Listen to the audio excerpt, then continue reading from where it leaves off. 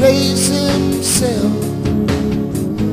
Too proud to let out his own cries The comfort he finds When he looks deep inside And his father he sees In the ocean